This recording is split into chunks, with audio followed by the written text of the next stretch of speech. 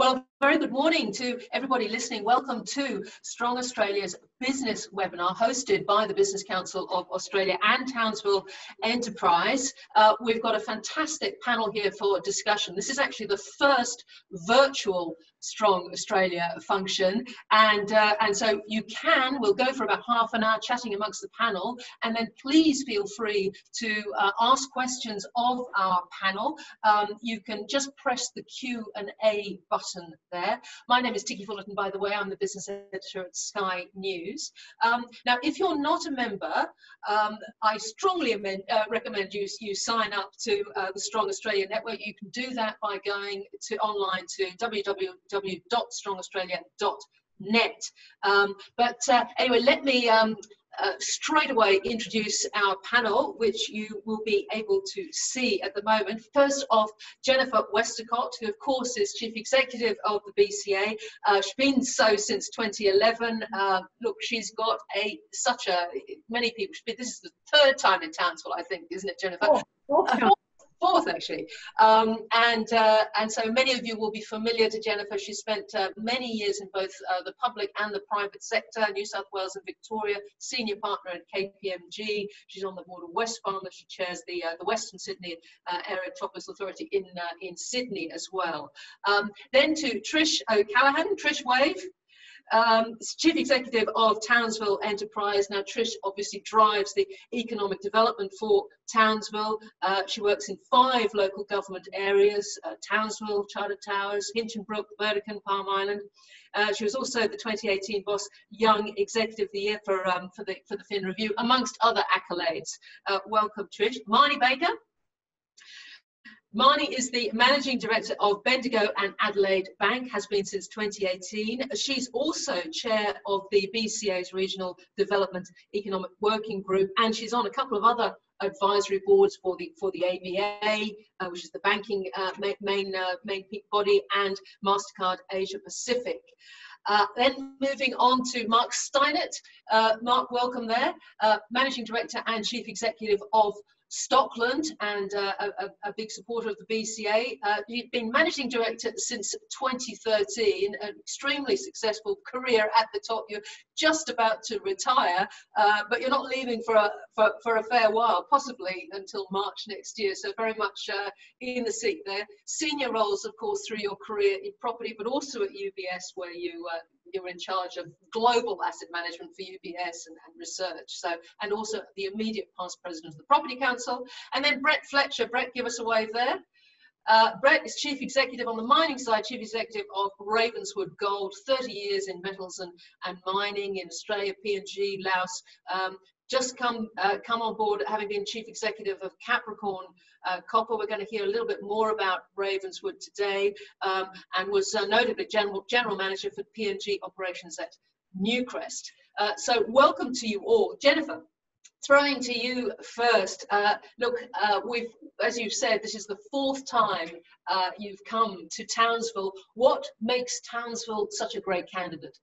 Well, it's it's just such an important part of Australia. It's a very diversified economy. It's a very rich economy. It's got an incredibly resilient population. It's got uh, organisations like Trish's that have got these kind of quite uh, important plans. It's got you know whether it's mining, whether it's defence, whether it's tourism, whether it's agriculture.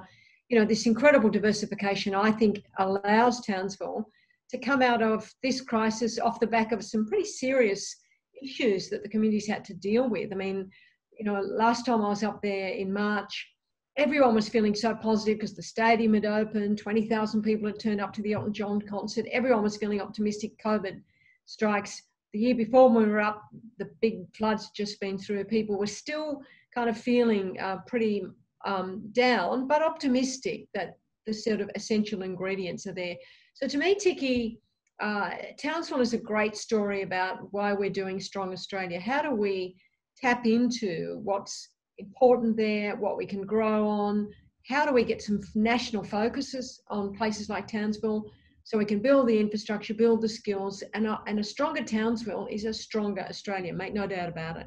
So, Jennifer, just, I mean, how significant is Townsville both state wise and nationally? Was huge, obviously, in the state just because of its size, but it's incredibly important nationally because of its mining assets, its potential in agriculture, uh, its potential, I think, to play a bigger role in absorbing some population growth, which would, of course, have uh, a spin on effect of creating more employment. It's got this quite strong defence capability, which could we can talk about, which could actually lead to many other jobs and many other industries. And of course, it's very strategic positioned. And so, as a country, take a, a stronger role in looking like at places like Townsville and saying, how do we make this community even more successful? Because that will have a big flow on effect for the rest of the country. Now, Trish, that obviously is your number one role. Um, just, just explain to me what the, the big opportunities are, what the big sectors are within Townsville and surrounds that you're working with. Yeah, and um, and just to touch on some of Jennifer's comments, um, you know, we do have an incredible community up here which has been dealing with crisis not just this year but for the past decade. So, as Jennifer mentioned, we came off the back of those unprecedented floods in 2019 prior to that, we uh, had that major mining economic downturn where we saw Queensland Nickel close their doors overnight and 800 jobs just disappeared. And then, in parallel to all of that, we've been dealing with the drought. But through that, what's carried us through is this diversified economy that we have. So, as part of our $16 billion worth of GRP, there's no one sector that represents more than 20% of that. So we do have a strong mining and resources sector, but that's very much complemented by agriculture. Our tourism sector puts over a billion dollars into the economy. Our advanced manufacturing, education, we have two universities here, so and defence. Uh, you know, nearly 15,000 personnel and their families are based here, putting in over 1.5 billion dollars into the economy annually. So, mm. so our Townsville City Council economists did acknowledge um, that you know, unlike like many other regions in this country, we've been hurt too by this crisis, and the figures that they were seeing was about 530 million dollars potentially out of our economy from our tourism, hospitality, and accommodation being essentially shut down up until now. But I think the opportunities are very much sitting with Australia's traditional industries that have been with the backbone. So, mining, and I know we've got Brett online, um, has continued to employ through this, and you've got Ravenswood Gold still progressing hard with their $600 million expansion. Adani's let $1 billion worth of contracts right up until now, and they're sitting across the street with a full office. Um, you know, our tourism industry continues to travel through even as restrictions lift. So, and advanced manufacturing, you know, with great, great, uh, great um, examples over the last few weeks with refineries and food producers now producing sanitizer, um, but also then major investment opportunities like city councils, calcium developments. I think, you know, the future is going to be bright here, but it's not without its stumbles. Yeah, well, you've got your, your job cut out for you, I'm sure. Uh, Brett, um, Trish mentioned uh, mining there. Tell us about this $600 million opportunity. Okay. Um, yeah, always happy to talk about our projects. So, look, we're located um, around about 180 kilometres, sort of to the to the southwest of Townsville. So, I guess we would very much consider ourselves to be right in the in the sweet spot of Townsville, but uh, very close to the township of Charters Towers as well, and also include Ayr, oh, and you know, so we've got a big, you know, a big community of people around us. Um, I guess I'm representing the sort of the new owners. I mean, we've only taken ownership of the projects on the first of April, so you know, so pretty new. But and who are um, the owners? Um, so the new owners, so we're we're a joint venture, so we're 50% owned by EMR Capital, so a large, um, you know, private equity business based in Melbourne, and you know, this is EMR's fourth operation in Australia and the third in Queensland, so very very proud and uh, you know very keen you know company to continue to work with you know Queensland in particular for mining operations, along with Kestrel and Capricorn Copper. Um, and our other owner is actually a Singaporean listed entity uh, called Golden Energy Resources. Um, and so they've you know they've they've joined up with EMR, I guess, to continue to you know to support the Australian mining industry and. Uh, you know, both of the parents, I, I guess, have come in to this project on the basis of actually taking the expansion forward. So, you know, it's a, you know, Ravenswood is a brownfield site, uh, but now we're really looking to take that to the next level. What does that mean for jobs, Brett? Um, so we're really looking at ramping up, restarting large scale open pit mining. So we're going to be looking for about 200 new employees in the next 12 to 18 months. Um, since we've started, I think we've put 40 on already. So we, we're making a fair dent into that already. So 40 new people at Ravenswood, but we've also set up the office here in Brisbane. You know, so probably you know 10 or 12 of us here in Brisbane as well. Um, and in the construction phase, um, probably another 150 to 200 people involved in construction and really looking to set the mine up for the next, you know, we're looking at a 13 year mine life, but I mean, I guess in reality, we're setting it up for the, you know, for the decades to come because that's the, the belief that we've got in the potential of the area. Trish, I think you went on a what a 1,000 kilometre a road trip through the, the, the province. Uh, can you tell us a bit about that?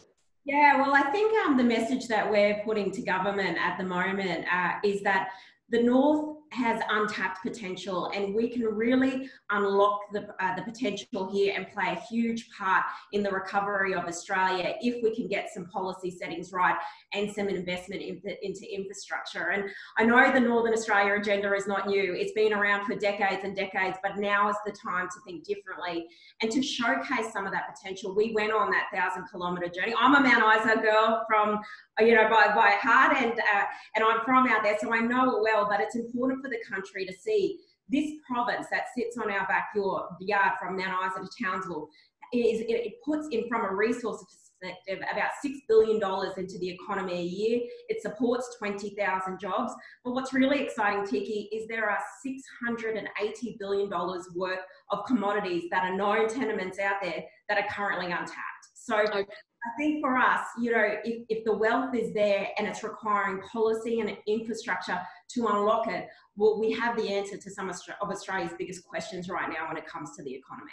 All right, I'm going to come back to those broader opportunities later. Mark Stein, if I can bring you in here. Uh, what is uh, Stockland's footprint in the Townsville area and what sort of window do you have on, say, small businesses at the moment? Yeah, uh, thanks, Ticky. So we've um, we own Stockland Townsville with AMP Capital. It's a $366 million investment. And we have uh, Stockland uh, North Shore, which is a um, ultimately a billion dollar project uh, with capacity for, for further 2,000 homes. Um, so when we look at small business, um, that's a very important part of um, Stockland Townsville and also contributes to the buyer group uh, that we see for North Shore. And uh, as it relates to the um, the asset itself, we've got 150 smaller stores in, in Stockland, Townsville. Of course, retail has been hit very hard um, during COVID. And in fact, if you look at the data for Townsville, it's the it's the segment of the economy that's seen the, the largest reduction, with um, a lot of people going on to JobKeeper. And if we look at April and May, um, 55 to 60% of retailers were open and the balance were, were closed. Um, sitting here today, that we're now back at 100% open, and, and foot traffic is almost um, back to where it was um, pre-COVID. So that's been good, and of course, Townsville's had a pretty low incidence uh, as it relates to, to COVID. Nothing like the large cities, and I guess that's going to be the opportunity looking forward as you get some decentralisation into regional locations, as Jennifer mentioned, like Townsville, where you've got a great uh, infrastructure, great education, healthcare, and a lot of unutilised amenity, and and that creates an opportunity. And we've seen with Home Builder, uh, which together with the state grant gives a first home buyer forty-five thousand dollars in Queensland, and defence personnel get another ten to fifteen thousand so you can buy a three bedroom home in Stockland North Shore for $310,000. So since Home Builder, we've seen a six uh, a six times uh, or six hundred percent increase in um, wow. first home buyer and, and new buyer activity off a very low base. Uh, bear in mind, pre that the levels of new housing were running at 20 year lows, um, just reflecting fairly static population um, and employment. So I, I would agree that um, with Trish that we're looking at a, at a brighter future for, for Townsville. Yeah, well, really interesting what you said, Mark, about that. You, you, you know, that the fact that Queensland uh, has come through this almost better than any other state at the moment. Once again, today, zero zero cases. Marnie, uh, you have a, a, you know slightly different window through Bendigo and Adelaide, and indeed Rural Bank, I think, as well. How do you see uh, people's situations at the moment in Townsville and, and going forward through the pandemic? Yeah, so Ticky, we have um, we have a, a, good on the ground uh, knowledge when it comes to Queensland, and, and many people won't realise, but back in 2001, uh, Bendigo Bank merged with First Australian Building Society up in Queensland, and we have um, great representation there, and even in Townsville itself, uh, there's three branches just in the in the close vicinity uh, in in Townsville. But uh, I think it's it's interesting um, listening, and I love the passion of Trish because that's what you need. You absolutely need the, the passion and the and the drive. Um, coming from a regional area myself, I can completely understand that. You know, um, there's a lot of similarities, not the weather, but a lot of similarities in other ways between Bendigo, um, you know, and the Townsville region itself. But I think you know, what we've seen, and I can even speak from an industry uh, perspective, and not only Bendigo and Adelaide Bank, but the banking industry itself, is that we're seeing um, two different speeds a little bit. You know, we've touched on a number of the sectors here, and you know, in Brett in the mining sector, you know, it really has um, not felt the impacts that other sectors have sort of felt, and has been sort of kicking on. But again, we talk about retail and things uh, and those type of sectors and, and tourism, especially, you know, up north and a reliance on, you know, having the international borders uh, open too, you know, that's, it's had a, quite a profound impact. So from a customer perspective, and that's individuals with their, their mortgages and their home loans and small businesses, of course, you know, around the area up there, you know, we're seeing around 30% of borrowers um, which is higher than you know across the whole uh, of Australia, uh, who are seeking some form of assistance, and whether that's some temporary assistance and it's a deferral of their you know their interest and, and principal payments on their loans, or whether they're seeing something a, a little bit more permanent. But there is some people that are really hurting um, through this, um, and and you know we'll talk a lot about uh, the positives and the resilience, and, and that's what you will always see in a regional area, and that's why I love living and working in, in a regional area. Um, we do also need to acknowledge that there are sectors uh, and there are people and businesses uh, that are going to find it tough to sort of come uh, come through this, and yep. and that and, and, we're dealing with that on a daily basis. Sure. I mean, uh, obviously, we're going to hear from the treasurer next week, Jennifer, um, uh, uh, clearly, there, there are also opportunities to refinance mortgages now, which I think are at sort of record levels as well. But when it comes to, um, uh, you know, pushing back this cliff that everybody was so worried about in September, uh, there are hints now that both banks and the government are going to be much more nuanced, is the word, in uh, who they help and why. Uh, do you have concerns or, or hope about how this is going to be handled? I'm pretty hopeful, Ticky, because I think government's made it very clear that it's not going to just cut stuff off. The banks have made it very clear they're not just going to cut stuff off. And everyone is very uh, mindful that there are some sectors who just cannot reopen um, because, because of uh, health reasons. And so the government's made it extremely clear that it is going to taper it off, not cut it off, and then and, and redesign it effectively in terms of JobKeeper. And we're even seeing some sort of promising comments about job seeker, which, as you know, we've been long advocates that the Newstart allowance is, is inadequate. I think the big challenge, though, is that's a very important conversation to have. But the big conversation is how you create what I what I calculate to be about two million jobs. So if you assume there's 3.3 million people on JobKeeper, there's 1.4 million people on JobSeeker. Let's just assume uh, albeit uh, not a great thing, that some of those people on job keeper will not get their jobs back. There will be, you know, an inability for those people to go back to work. So let's just say, for argument's sake, there's two million jobs to create.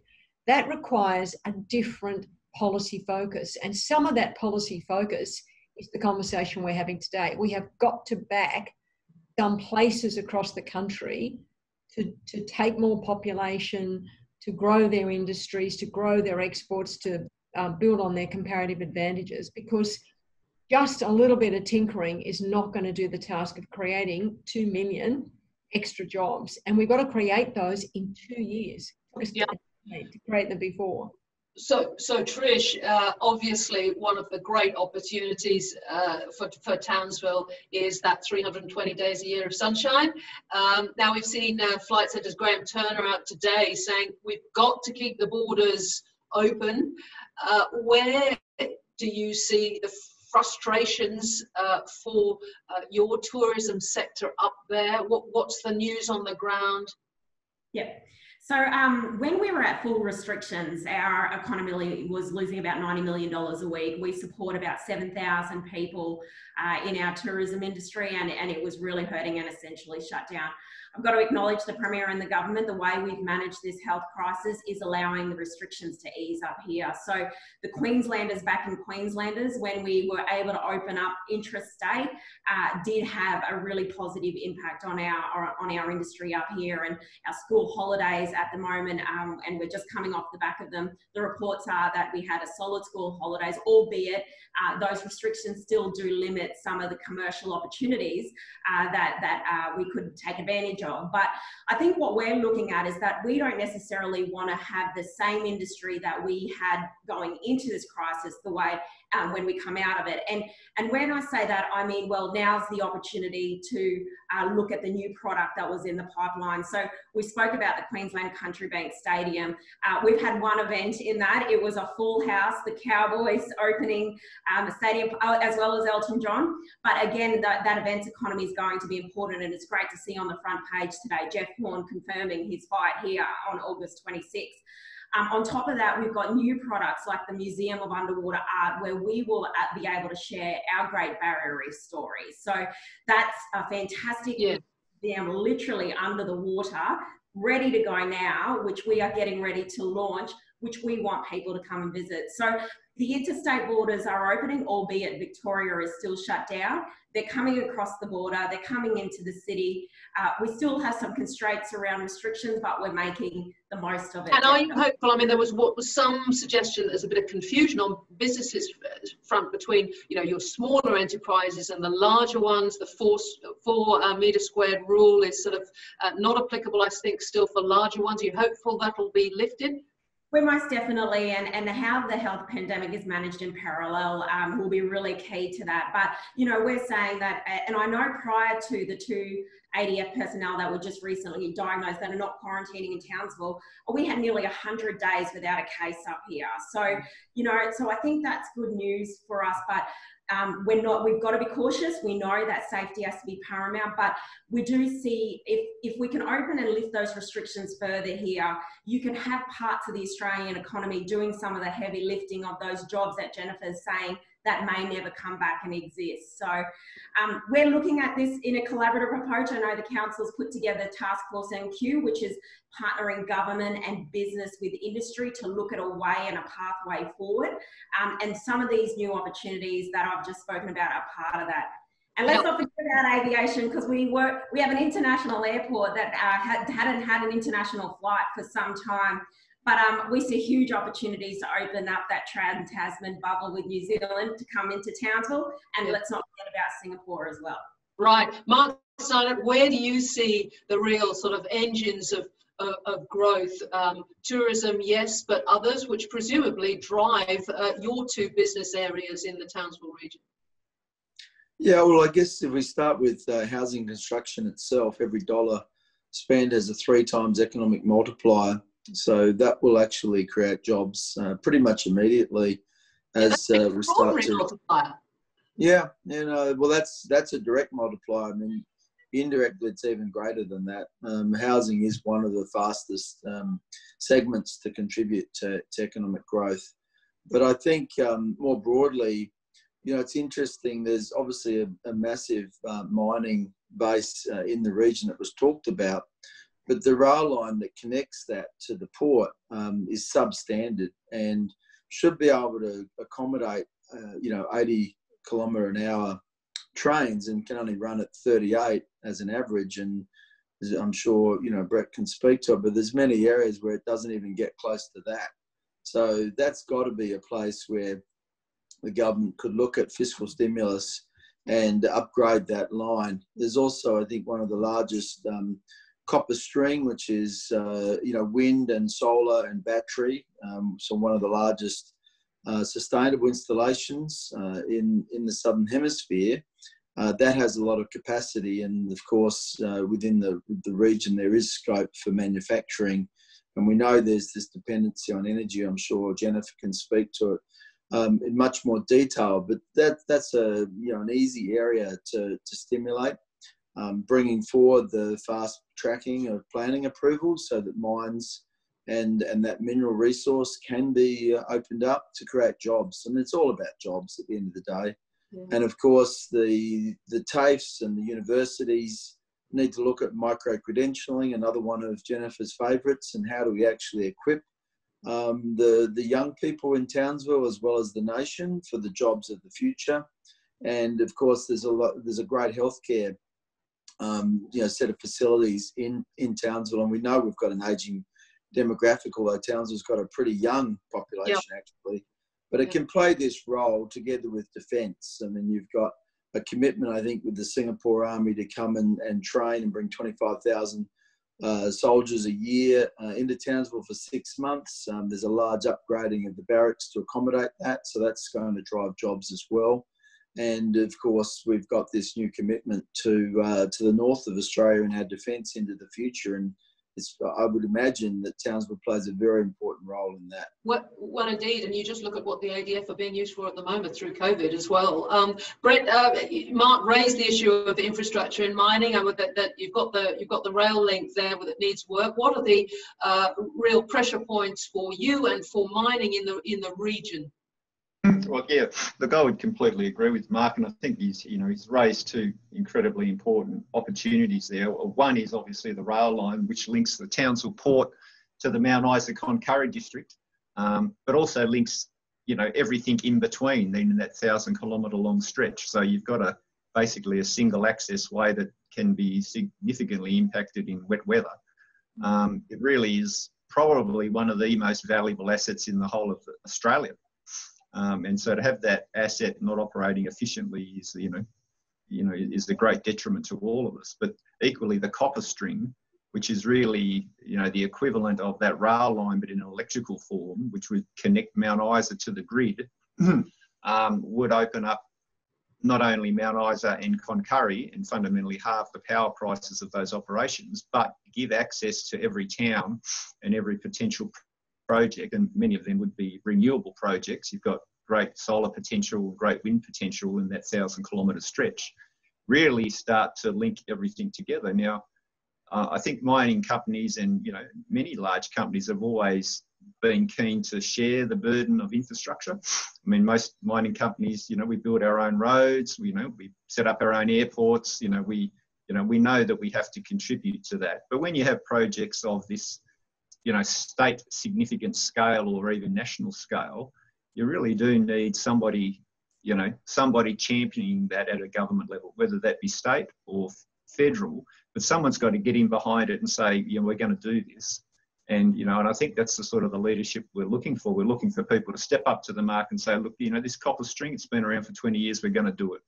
And then I think you'll find, you know, once you see that commitment, that people will get on board. I mean, you know, there are so many potential upsides, and you can build something. I mean, I'm not sure when the Mount Isa rail line was built, probably in the 40s or 50s.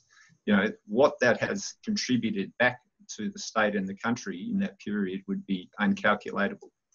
Um, and so, you know, it's just that foresight. It's around water, it's about roads, it's about power, and it's about infrastructure. But I think it's probably even more important is, you know, is policy and you know and the commitment by government to you know to make these projects happen. Yeah. I mean, the greatest yep. the greatest challenge we have is uncertainty around permitting. Around burn, yes. Talk a bit more about that for us, will you? Yeah, well, I mean, you know, there are uh, you know a lot of investors, you know, in Australia, and there, but there's a lot of investors globally that want to invest in Australian projects. Now, for them to do that, um, they want to, you know, they want some certainty that their project can proceed. you know, so they're looking for, you know, the ability to get a project permitted, and you know, per permitting a project in Queensland, you know, is a long process. You know, from scratch to when you can start, you're talking probably five to ten years. To convert an exploration lease to a mining lease is would take you two years minimum. You can do that in Western Australia in six months. Yeah. So someone well, that comes along and says, look, I want to convert this and start mining, you know, it's really, well, you know, you're going to have to wait two years before you can get that done. And that just it's not going to cut it for a lot of investors. Yeah, well, I noticed Jennifer nodding furiously there, but let me pull in Marnie from uh, again for a moment. Marnie, on the uh, on the ground, both in terms of small businesses and ordinary people with houses now. I mean, what do you think they should be thinking about their own risk? Uh, people talk about the potential, but it must be an everyday conversation around the dinner table about decisions they should all be making uh, going forward at the moment. Yeah, uh, just before I go to that, Ticky, I think just, you know, adding on so, sort of from Brett there, we're not short of projects. And, you know, and Jennifer, I know, you know, is working hard and it's what the BCA is, is working with government around how we actually just release a lot of this red tape that's there and just be able to free up and, and to be able to accelerate a lot of the projects and the investment that actually is required um, in in regional areas. Because you know going back to what Trish said before um, the regional areas and somewhere like you know like Townsville and, and, and the Townsville region and, and, and North Queensland has a huge opportunity uh, to really unlock a lot of economic activity and that's what the government is after that's the way that we're actually going to to build and, and recover out of uh, out of COVID. Um, and it's going to take some years to do that. And we should be actually starting now and, and you know, investing in those sort of, um, those sort of projects. So whatever we can do and you know and this is what the bca is about too is being being a voice uh, into government on behalf of uh, of businesses small medium and large mm. um, you know if you have those type of examples of where things are actually being held up or where red tape is getting in the way um, you know but from your own experience from your own experience Marnie at the moment uh, whether it's down in Victoria or wherever it is are you seeing that you know some policymakers government leaders are, are, are, are accepting that this is a burning platform and therefore we we need to be making decisions faster and looking at these sorts of issues. Are you getting that positive feedback? Yeah, absolutely. And you know, it, it, the the silver lining I think to come out of what is you know has been a really tough um, you know last five months uh, is the fact that we've actually seen um, both sides of government and state based come together, and the cabinet's been a, a fantastic thing to actually bring bring the states together and all of a sudden we're actually working on uh, the, the things that we should be and focusing on the things that we should be. We should be taking advantage of that now. And and uh, again this is what the the bca is focused on. It's what the working groups are, are focused on within the bca is how do we actually use that now to cut through some of the things that actually have stood in the way of businesses being able to grow and flourish so, you know, I think there's huge optimism um, that we actually can do that and everything. And Jennifer, you can you pipe in here because um, I know you're very passionate about this, you know, on behalf of your members too. But we're getting all of the right uh, conversations and the doors opened and um, and an optimism that we actually can. But we have to be really um, uh, particular. We have to give give real examples um, hand it to government on a platter and say, this is the exact piece of legislation or this is the exact thing that actually needs to change. Mm. Because, because otherwise we can't leave it to them to sort of figure that out because they're running so hard. So we need to sort of hand it to government and say, this is the thing that needs to change. And if you change this, this is the impact that it's going to have on the economy. Yeah, well, Brett certainly has some specific examples. Jennifer, yeah. want to jump in there? Yeah, sure. Look, I think I think governments have been magnificent throughout this. I mean, you know, I think as Australians, we've been very well served, whether it's, you know, at a state level, at a federal level. You know, I, I don't think there's a single government that's not focused on how do we get our projects uh, out of the planning system. Uh, I think what has happened here, Ticky, is that the realization of just how much, to Brett's point, how much regulation was holding us back, how much stuff companies and small or large had to go through to get something done. But now we've got to stay the course. We've got to stay the course with these bits of regulation that have been put on hold for a minute so that people can just keep people in work. But yes. now say, well, actually, let's fix that. So, you know, my plea all the time is if we got rid of it for this crisis, why would you put it back? You know, why would we re- replace restrictive trading hours? Why would we go back to a system where it takes five years to get a project done? Because around the world, people are having the conversations we're having today. How do we tap into new markets? How do we get projects going? How do we get people back to work? So, whilst Marnie's right, there's a lot of money around, there's also a lot of competition for it. And we need to make ourselves as, as Australia and then places like Townsville great places to invest. So, one of the things I'd love to see in communities like Townsville is things like a 30 year infrastructure plan where government says, here's the compact, if you will, that we're going to commit to over the next 30 years. And, you know, it's, it's, then people can plan. Brett can say, well, okay, we can fund this bit. Uh, we can fund this bit. Mark can say, well, we can fund that. Um, government is going to have to release its balance sheet, which is pretty healthy uh, to say, well, we're going to have to kind of do some of this public infrastructure so that we can get things going. And the, uh, the, the rail line that people are talking about is an obvious one. And then we've got it, we've just got to try and make it easier to do business. And I think the point that I want to make on that is that we often confuse degree of difficulty with somehow better outcomes. Absolutely nothing could be further from the truth the more complex, the more double handling, the more people involved actually reduces transparency and reduces the quality of decision making because mm. everyone thinks somebody else is doing something. So now is the time, I reckon, for the country to just grab hold of the levers and pull them as hard as we can, and don't just do that in Melbourne and Sydney. And it's and it's uh, sorry, Ticky, and it's really important that the, the, the voice is actually coming from those people that are on the ground that understand their regions or their communities the best. Um, it's really important that that voice is in there because you can't let people sitting, um, you know, in an office somewhere make some decisions about your particular region. You know what's best. Yeah, yeah. Um, look, if speaking of voices, if if anybody has a question, feel free to uh, throw it onto the Q&A uh, button and, uh, and press away. Um, panels here, uh, any subject that, uh, that, that, you feel is, um, is uh, has been underdone so far, but I might actually pull back in Trish to, to talk about some of the sort of infrastructure and other major um, investment that you would like to see to kickstart as, as someone who is a Townsville girl now.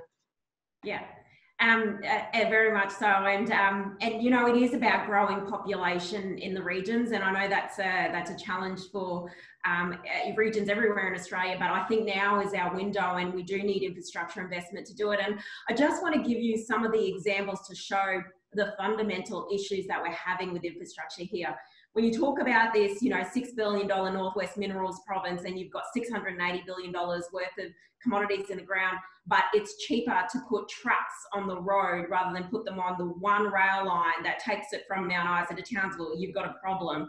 I think when you've got a billion dollar renewable energy project just on our back door, doorstep near Hughenden, on hold because they can't have access to the national electricity market and affordable energy, you have a problem. And I think when you've got, you've been dealing with nearly a decade of drought, yet when we had those unprecedented floods last year, you had thousands of megalitres of water flowing into the Coral Sea and not captured to get us ready for the next decade, you have a fundamental problem. So mm-hmm. I think this is where we're saying to what Marnie's saying is these voices have always been here, but we now need to, through what Jennifer's trying to do, is put them on the national stage to say, we can do the heavy lifting for Australia, not because we have to, because we want to. And there are opportunities here. So let's fix the Mount Isa to Townsville rail line and look at it differently instead of looking at it as cost recovery. Let's build Hell's Gates Dam and open up 50,000 hectares of irrigated ag which is currently doing nothing up here. Let's find a way to turbocharge our tourism industry when you've got such access you know, globally here um, with some new products. Um, and let's look at CopperString, a renewable, a, a, transmission line that will not just help the mining industry now, but turbocharge advanced manufacturing and, and mining and resources. So you know, eh, through Task Force KMQ, we've got a list of projects and priorities as well. You know, we're sticking to them, they're consistent, but now's the time for governments at both federal and state to think differently about this area and how they can help the state and national economies if they can get some of these policy settings right. Right. And just, and, just, and just, to debunk a myth too from a population perspective, the Regional Australia Institute actually uh, produced um, a, a, report just recently and um, it actually showed that it was a, a, net inflow of migration into regional areas away from the away from the cities, uh, and that's based on the last census data. Mm. Marnie, um, you know, in terms of regional development, what are your hopes for the Liveris review around energy and, and trying to get some cheap energy, um, which the government is considering at the moment? Yeah, well, I mean, energy is not my um, my my expertise, except to say that all businesses actually rely on um, you know the, the cost of energy, and it has been an increasing cost across across all industries, and something if we talk about inhibitors uh, to businesses, energy, transport, those sort of infrastructure.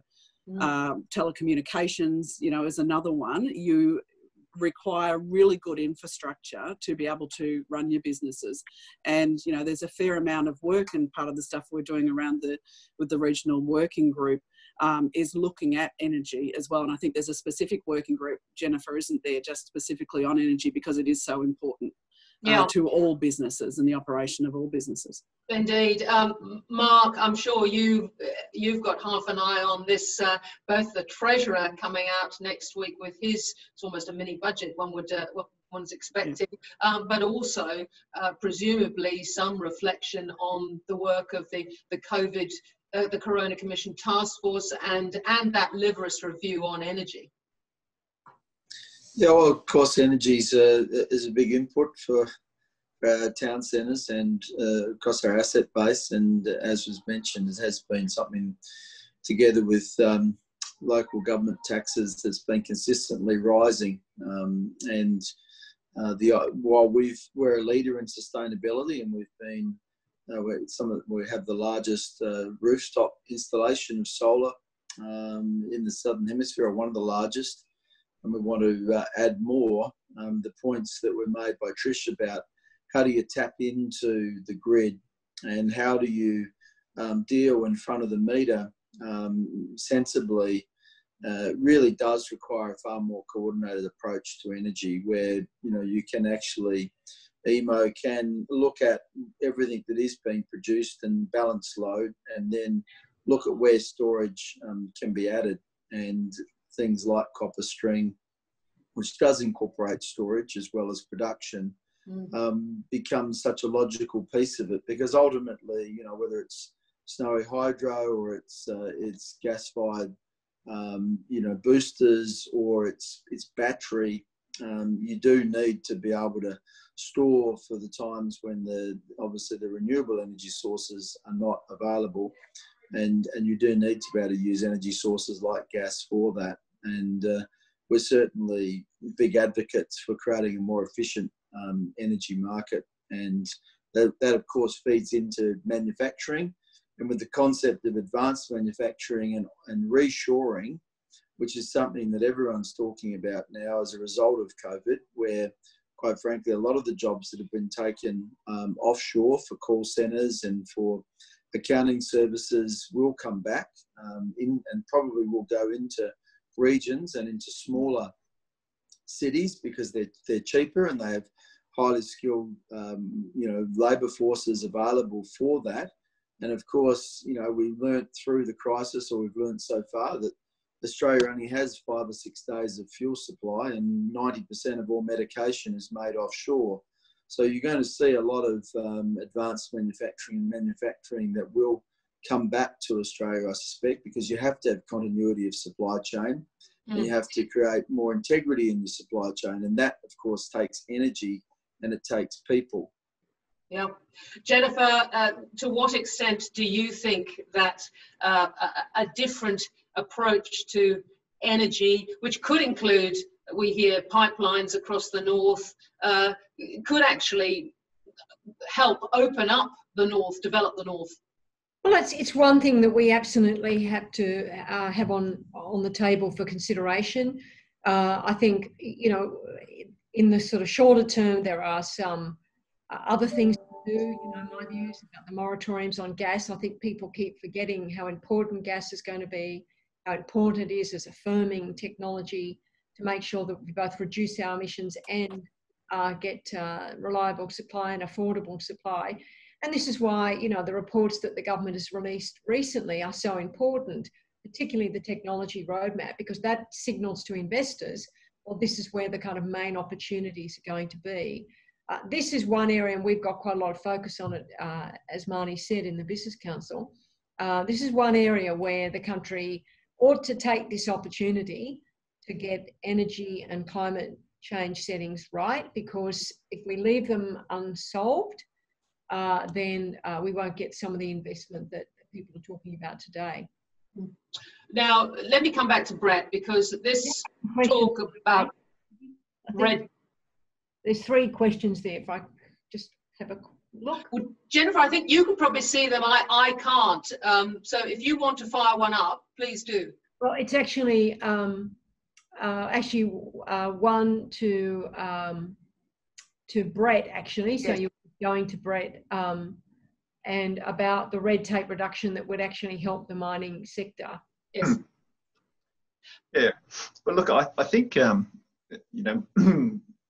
I guess it's a complex question, but I, I guess in its simplest terms, Ravenswood Gold, where I, you know, currently work, and also Capricorn Copper, are actually both projects of gazetted state significance. And so we've actually had the benefit of, you know, being able to work with the Department of the Coordinator General. And to be quite honest, I'm not sure how we would have progressed either of the projects as rapidly as we have without that assistance. Um, you know, mining projects, I guess by their nature, are complex. So we deal with, you know, the Department of Mines, the Department of Agriculture, we deal with forestry, we deal with the Department of Education and Health, and there are, you know, main roads. There's just a myriad of individual state government departments and also federal uh, government departments. And each part of it is an integral cog in actually getting the whole project permitted. Um, yeah, I guess in simplistic terms, I think more coordination, more support and advocate in government is absolutely critical. Um, I mean, the Department of the Coordinator General, to be fair, have been a fantastic advocate for our current project. Um, you know, we're talking with them every second or third day. And that's the level of involvement that's been necessary if we really want to take our project forward. And I would suggest many other projects need that, need that advocate that's actually supporting and helping. I mean, we're happy to, to, you know, to follow any guideline, rule, regulation, do whatever it takes. But you have to know what it is and you want some certainty around the fact that if you do the right thing, the project will be able to, to advance on the timeline that you've committed you've committed to. And that's really what the investors are looking for. They want, to, they want some certainty. Um, and we need to look at ways of, you know, of cutting through the red tape and also the enormous amount of green tape as well. And that's, you know, not being cheeky about that. That's just saying, you know, we want to do the right thing. We just need some certainty to know what we need to do. Yep. So obviously mining is really important. Um, Trish and, and anybody on the panel, what are the, the, the best areas for creating jobs jobs in the region do you think trish first yeah, so I think um, you know resources is is key, and uh, touching on what Mark was saying, it's not just looking at uh, the current mining. It's not just looking at, uh, you know, even agriculture. It's looking at the, the spin-offs, the advanced manufacturing, which, you know, there is a turn back to self-reliance. And I think the North can play a huge role in that. I think agriculture is really important, but we need water for that. Um, but we've got uh, arable land up here that we would love to develop and grow and, and export. So I think really important. Um, defence and tourism um, are also key, but I think coming to uh, you know a passion of Jennifer's is is around that education. And if we're going to get our generations ready for these new jobs, um, you know STEM is so important. And JCU at one of our last events uh, just before Christmas put out a, a study that showed STEM subjects and and all uh, regional children up here in North going into tertiary studies was basically falling off a cliff. Yet, if you look at the opportunities in these new industries and new economies, there's so much potential. So, I think, you know, education and health will play a really big role in our future. Mm. And let's not forget visitors. You know, the background behind me is our winter evening up here. It is a stunning 20 degrees. We have beautiful mornings and lots of open air and space. So, no problem social distancing up here for those that want to come and visit. Yeah. And you're and you're rubbing it in to a Victorian, Trish. Um, uh, Ticky, I, you know, I think also corporate Australia should be looking at it. You know, as we're as a, a lot of organisations are looking to onshore given given the, the, the months that we've been through and now everyone are re-evaluating their businesses that onshoring and those sort of roles looking at regional australia looking at places like townsville to actually put um, operations the fact that we actually don't have to um, you know physically work in a in an area now either. You can be employing people wherever. Um, you know think about employing people in the in the regional areas think about how you can actually have an operations that's actually out of the Townsville region. I think that's a message to corporate Australia too. We'd love every national company to be reconsidering their strategies and looking at the lifestyle here I know the mayor here is quite passionate about and, and I can tell you we've got 162 years of that working in regional areas, so yeah. it works. Yeah. Mark, do you want to join in?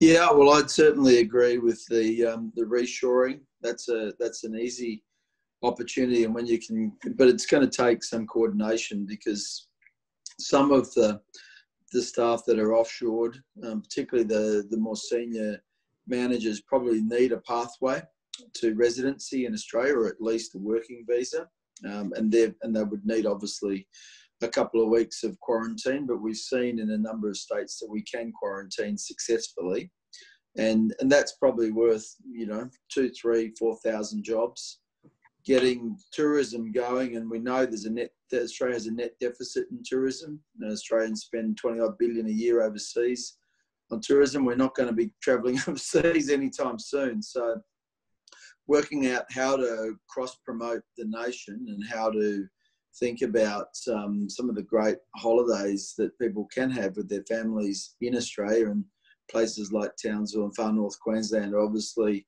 um, front and centre for that and that leads directly into food and beverage and retail. Um, if we reinstated the food and beverage and retail employment in Townsville, uh, where it was uh, only four months ago, that's another 3,000 jobs.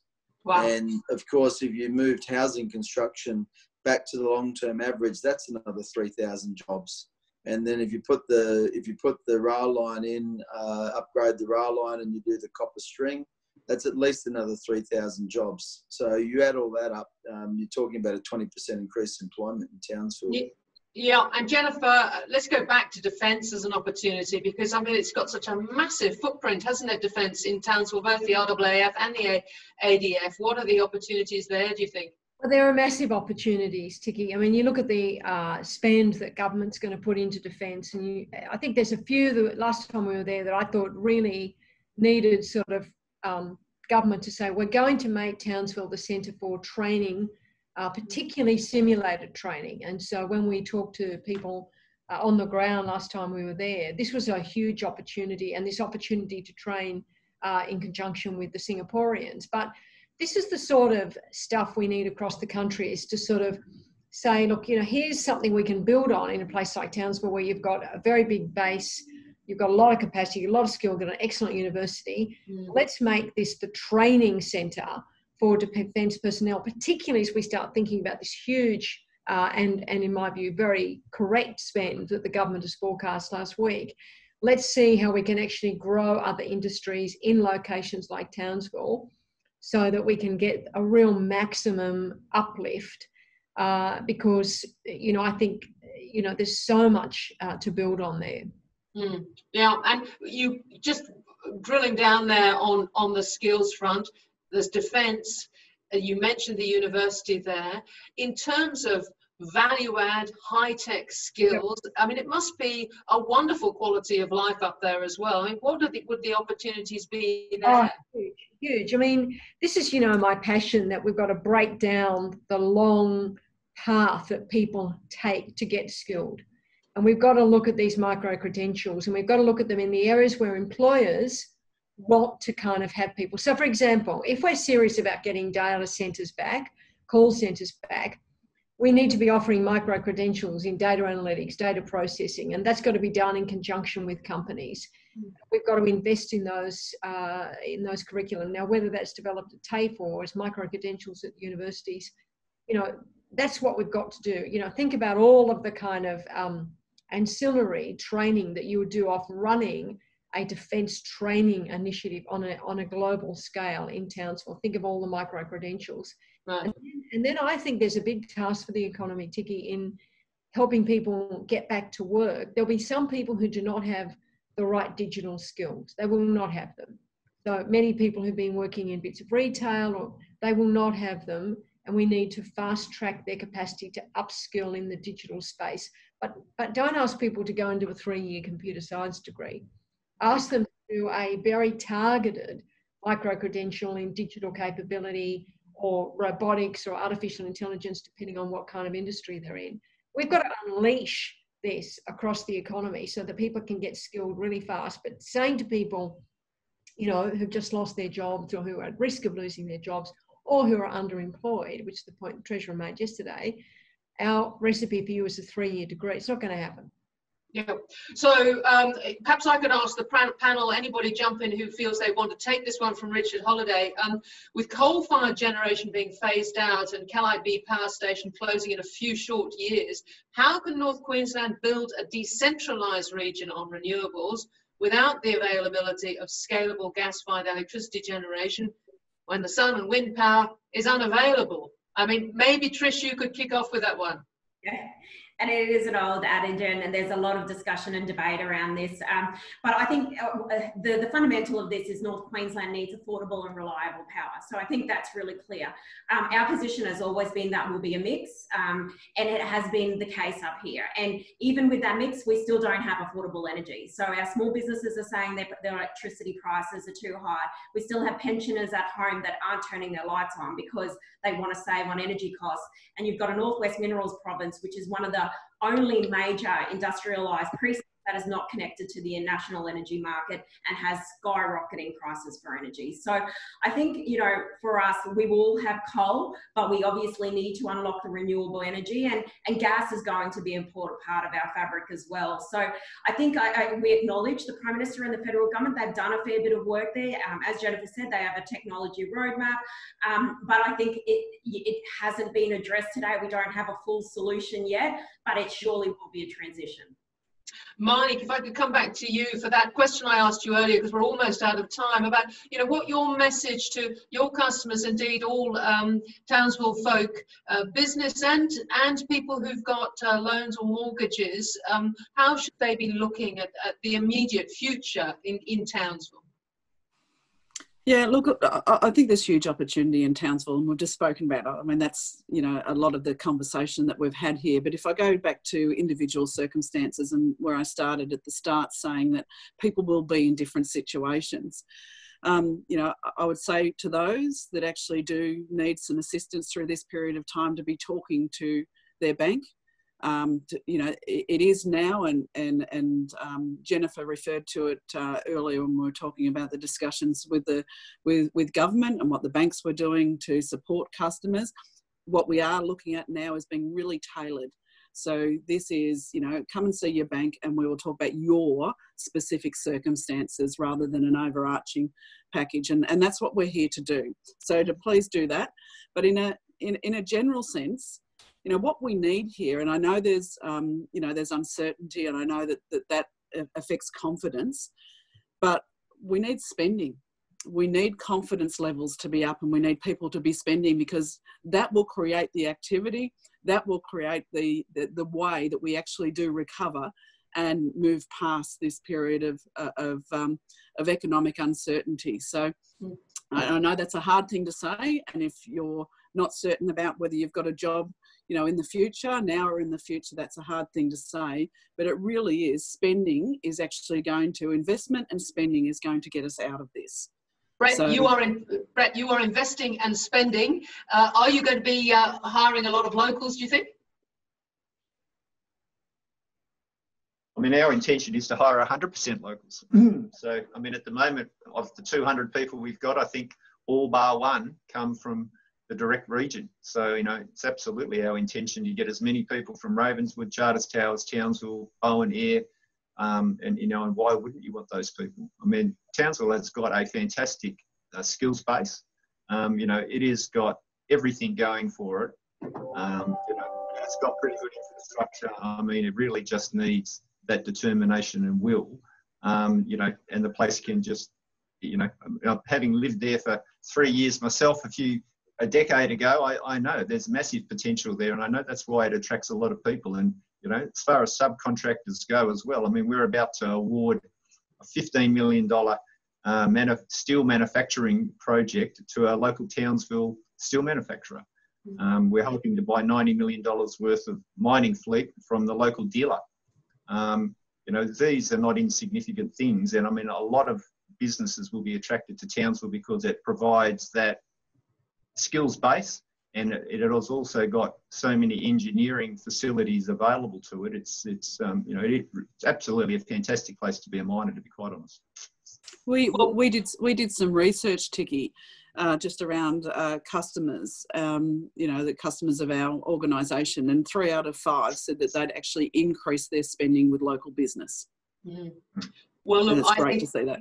I think it's great to see, and I think that's a, a great note to end on. Uh, I'd like to thank our panel very much indeed uh, for, for joining us. And Townsville does look like it's just sort of brimming with, with opportunity, and we all want to go there anyway right now. So thank you to our panel, and all the best. Thank you very much. Thank you. Thanks, Ticky.